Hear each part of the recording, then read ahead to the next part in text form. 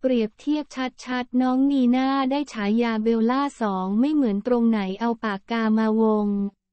มาแรงมากๆสำหรับน้องนีน่านัทถาสาวน้อยมหัศจรรย์วัยเก้าขวบที่มีผลงานผ่านหน้าจอทีวีมากมาย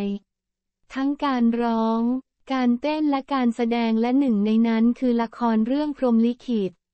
ที่มารับบทเป็นพุทตาลตอนเด็กจนหลายคนบอกเป็นเสียงเดียวกันว่าหน้าเหมือนกับเบลล่าสมัยเด็ก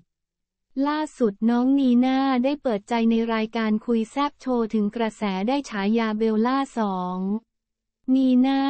รู้สึกดีใจที่ทุกคนบอกว่าเป็นเบลล่าสองเพราะหนูเป็นแฟนคลับพี่เบลล่ามาตั้งแต่เด็ก ดูบุพเพสันนิวาสทุกตอน ก่อนหน้านั้นไม่เคยร่วมงานกับพี่เบลล่า นี่เป็นครั้งแรก